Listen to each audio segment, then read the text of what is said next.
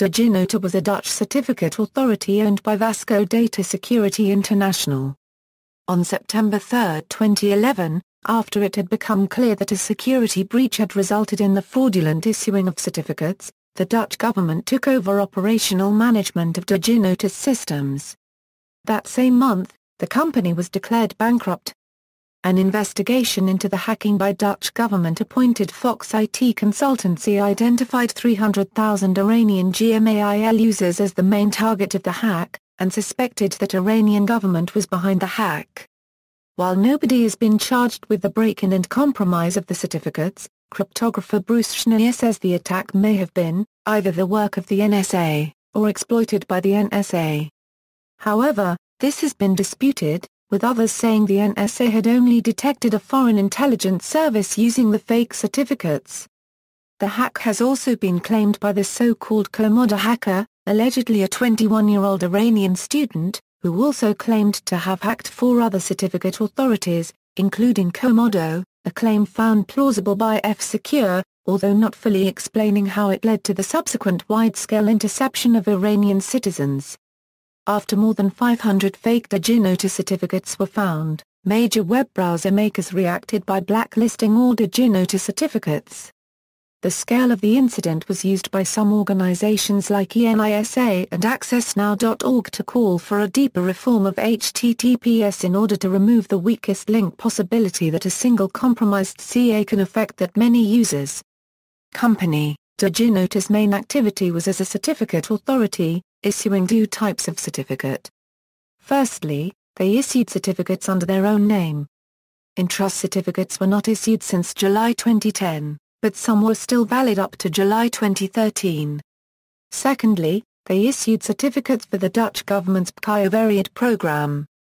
This issuance was via two intermediate certificates, each of which chained up to one of the two Staat der Nederlanden root CAs. National and local Dutch authorities and organizations offering services for the government who want to use certificates for secure Internet communication can request such a certificate. Some of the most used electronic services offered by Dutch governments use certificates from DigiNotar. Examples were the authentication infrastructure DigiD and the central car registration organization Rijksdienst voor het Wegverkeer. The DigiNotar root CA root was included in the trusted root lists of common Internet client software but has now been removed. The Staat der Nederlanden roots were initially kept because they were not believed to be compromised. However, they have since been revoked. Equals history equals, DigiNotar was originally set up in 1998 by the Dutch notary Dick Batenburg from Beverwijk and the Koninklijke Notariële Bureau Organicity, the national body for Dutch civil law notaries.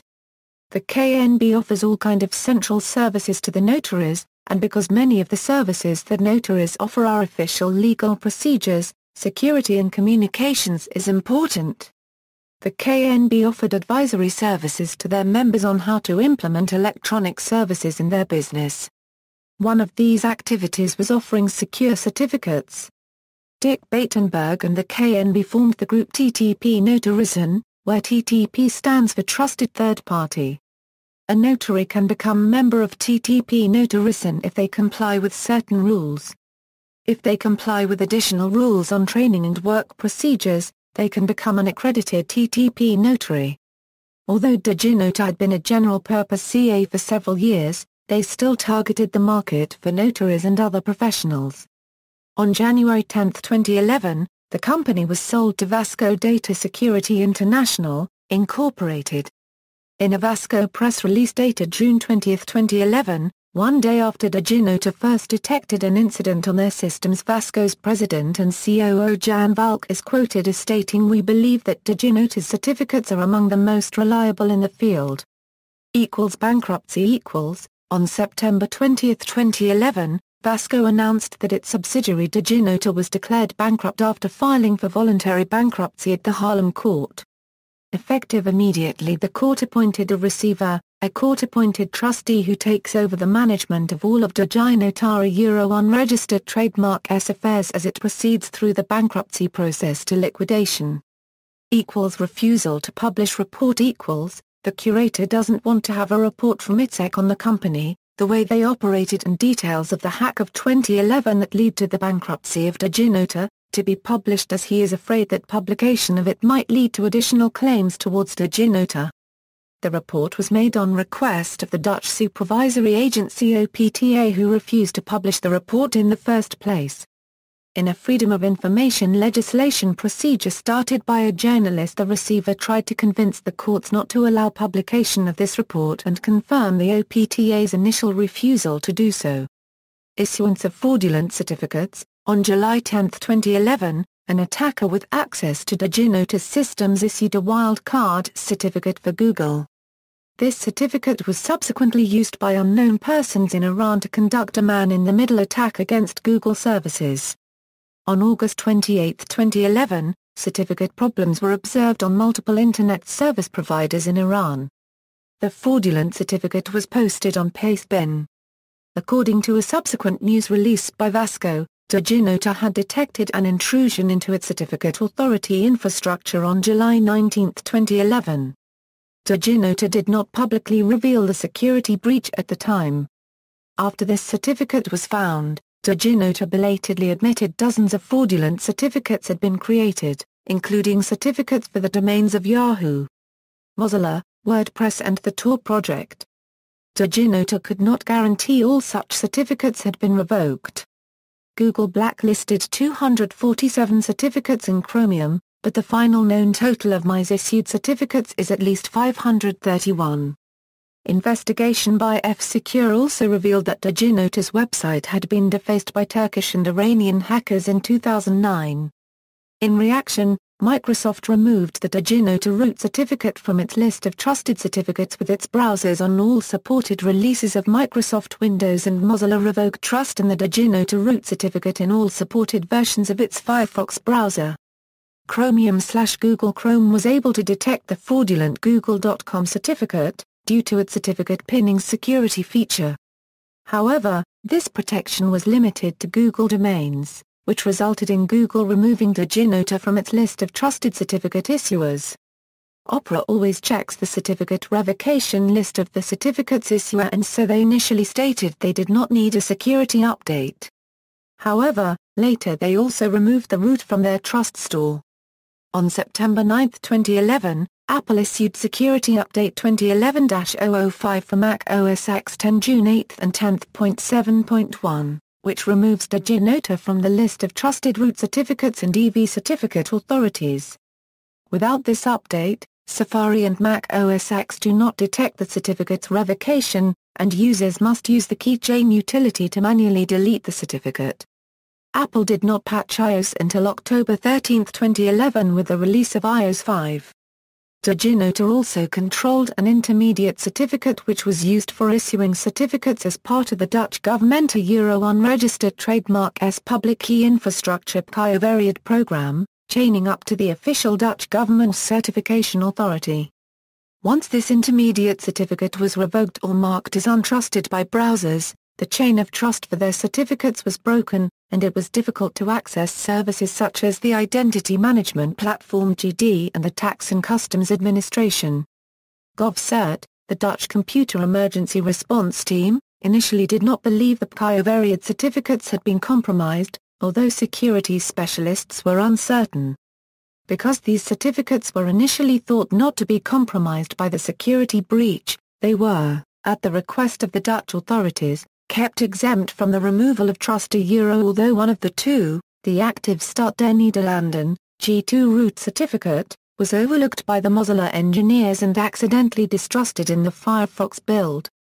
However, this assessment was rescinded after an audit by the Dutch government, and the DigiNotar-controlled intermediates in the Staat der Nederlanden hierarchy were also blacklisted by Mozilla in the next security update, and also by other browser manufacturers the Dutch government announced on September 3, 2011, that they will switch to a different firm certificate authority.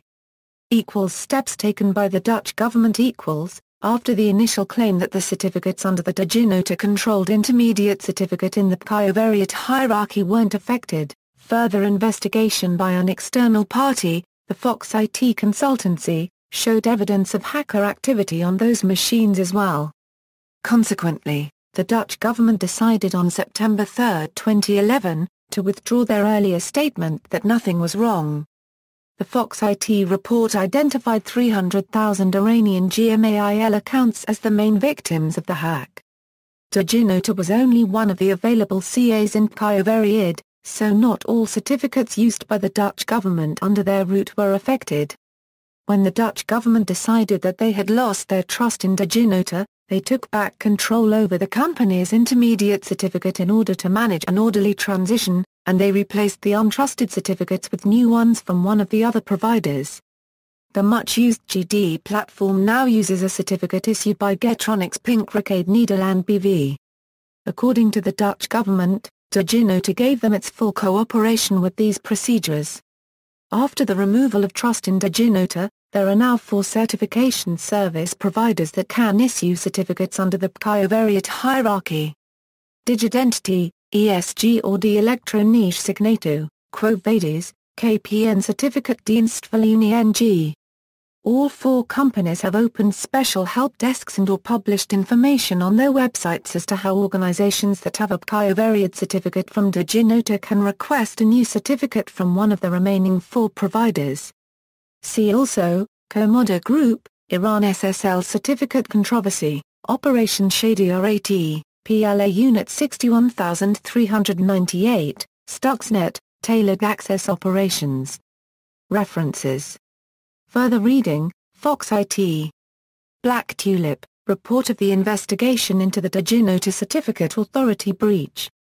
External links, Official website, Official website, fraudulent certificates a Euro list of common names, DigiNotar reports security incident, Pastebin posts, gmail.com SSL MITM attack by Iranian government minus 272,011, Internet death sentence for DigiNotar's root CA. Mozilla Foundation Security Advisory 2011-34, Protection Against Fraudulent DigiNotar Certificates, Microsoft Security Advisory, Fraudulent digital certificates could allow spoofing, DigiNotar compromise, Mozilla's Gervase Markham's account of how and why Mozilla blacklisted DigiNotar. Jonathan Nightingale. DigiNotar removal follow-up. Mozilla Security Blog. Retrieved September 4, 2011.